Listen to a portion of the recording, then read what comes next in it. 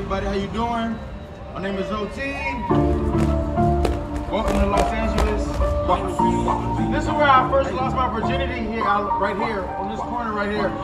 Where's the Chinese theater? Hey,